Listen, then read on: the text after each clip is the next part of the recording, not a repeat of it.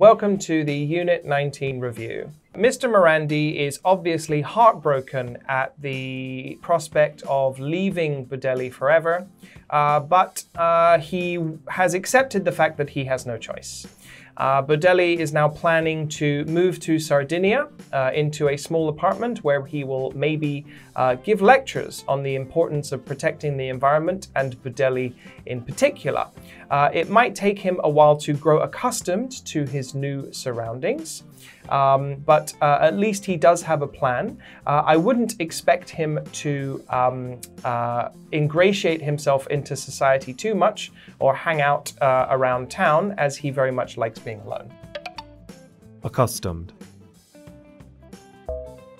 Accustomed. And the Italian authorities have promised him that they will keep the island in its pristine state and that they will have security cameras to constantly ensure that there are no trespassers on the island. Ensure. Ensure.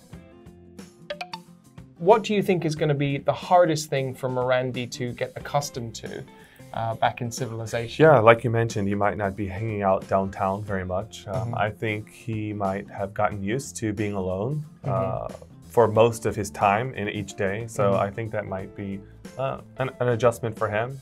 Yeah, I think it'll be a lot of uh, technological stuff. So Sure. using bank machines, Mm. or maybe like uh, having to fill out forms, uh, doing taxes.